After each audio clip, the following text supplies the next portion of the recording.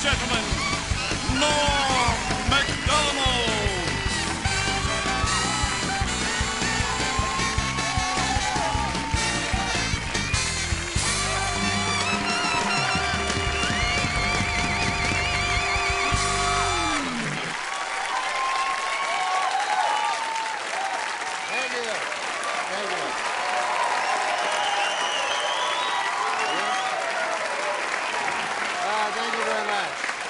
Uh, you're very kind. You know, in the, uh, what's that?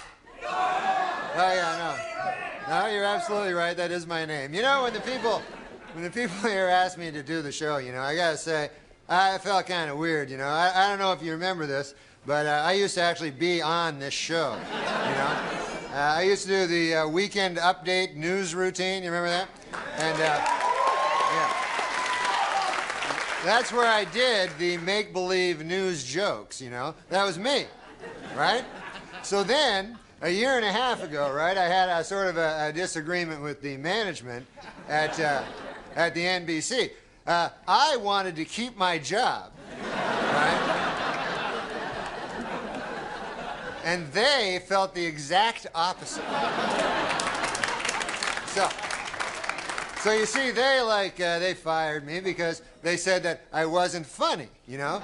Now, now with most jobs, I could have had a hell of a lawsuit on my hands for that, but, but see, this is a comedy show.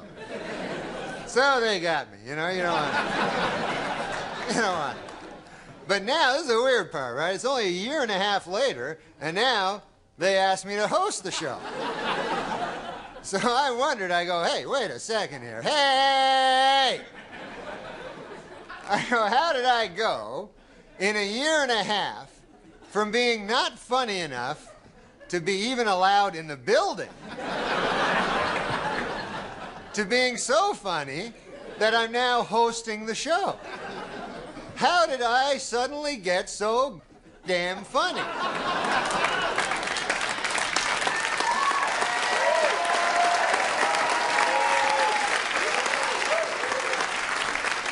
It was inexplicable to me because a year and a half, let's face it, is not enough time for a dude to learn how to be funny. then it occurred to me I haven't gotten funnier. The show has gotten really bad.